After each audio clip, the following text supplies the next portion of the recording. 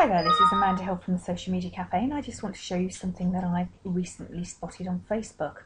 Now, um, this particular person kept was the very first person to spam me on the new um, pages messages. So on fan pages, your fans can now message you directly.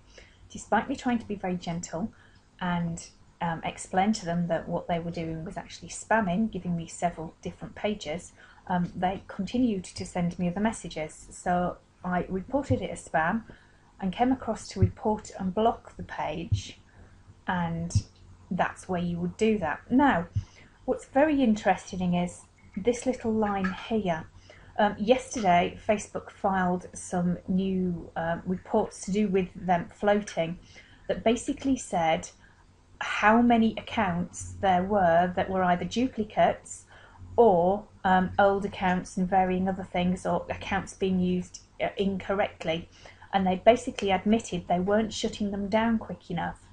So I suspect in the very near future they're going to be saying to you, do you have a separate account that's an old account that you want to be shutting down? Because they're going to find them and shut them down, which is what they're doing. Now that's probably why this is my old account would be the reason that they would put that on there.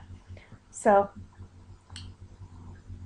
I'm just going to uh, pick that one and do that. Now there was also one on the bottom there that said is this your intellectual property? So um, it isn't obviously, um, that is absolutely their account but you might want to look at that if that's what you're going to need. So hope that's helpful to you. Bye.